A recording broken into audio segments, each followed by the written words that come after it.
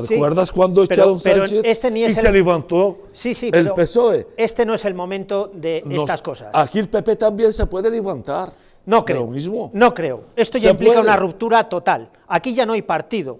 No hay presidente del Partido Popular y no hay secretario general del Partido Popular. Porque este señor tiene que dimitir inmediatamente. Porque no da una Eso desde hace aproximadamente un mes o dos meses. estos Es que llevamos una semana, llevamos una semana directa, que es que entre la votación de, los presupuestos generales del Estado, entre Castilla y León y esto, es que este señor se tiene que ir a su casa.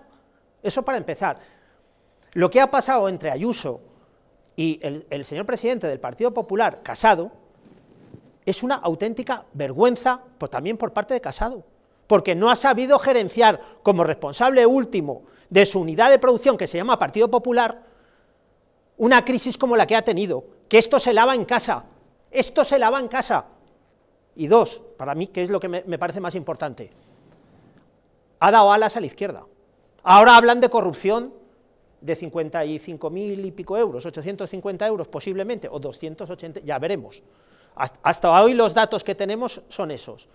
Tendríamos que ver la, cuál es la corrupción de la izquierda. La sabemos, de, hasta, la- eh, hasta el plus ultra, sabemos el dinero que le entregó a Ábalos, a una compañía que estaba en quiebra. Pero es que encima son unos irresponsables, porque lo que no se dan cuenta que el objetivo, la estrategia, es sacar a esta gente del gobierno. Y así no se puede hacer, hay que sumar. Vox tampoco gana, tampoco gana, porque por él solo tampoco va a llegar a nada.